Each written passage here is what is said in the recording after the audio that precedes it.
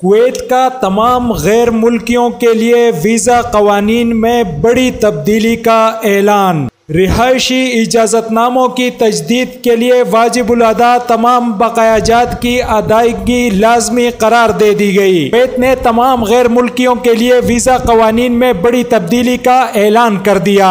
Arabian business के मुताबिक Kuwait की वजारत दाखिला ने गैर मुल्कियों के लिए रेजिडेंसी परमिट से मुतल नए कवानीन का ऐलान किया है। इस हवाले से वजारत दाखिला की जानब से जारी करदा एक बयान में वजाहत की गई है कि गैर मुल्क मुल्कियों को रिहायशी इजाज़तनामों की तजदीद करने से पहले इनकी वाजिबुल अदा रकम हर किस्म के बकायाजात का मुकम्मल तौर पर तजिया करना होगा। बताया गया है कि नए रिहायशी कवानीन कायम मकाम वज़ीर अजम और वज़ीर दाखिला शेख तलाल खालिद अलहमद सबा की हदायत पर मबनी है। खलीजी मुल्क नए रहनुमा खतूत का एक सिलसिला मुतारफ करवा के वाजिबुल अदा बकायाजात की अदायगी न करने वाले गैर मुल्कियों के खिलाफ क्रैक डाउन कर रहा है, जिसका मकसद रियासत को वाजिबुल अदा रकम दोबारा हासिल करना है। मालूम हुआ है कि इस मकसद के तहत कुवैत में गैर मुल्कियों पर हालिया सफरी पाबंदी आयद की गई है। यानी अब इन्हें किसी भी वजह से मुल्क छोड़ने से पहले टेलीफोन, बिजली, पानी और ट्रैफ़िक के बिलों का तस्पिया करना होगा।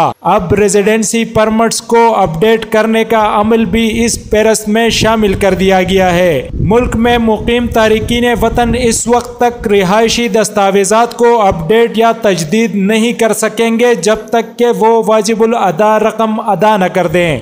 वजारत दाखिला का कहना है कि इकामा की तजवीज़ के ख्वाहिशमंद तारकिन वतन को पहले सरकारी एजेंसी की वेबसाइट या साहिल मोबाइल एप्लीकेशन का इस्तेमाल करते हुए बकायाजात अदा करना होंगे। वजारत ने तमाम अफराद से नए कवानीन पर अमल करने का मुतालबा करते हुए कहा कि मुल्क में सलामती और अमन आमा को बरकरार रखने के लिए मजीद कार्रवाई करने से दुरुख किया जाएगा।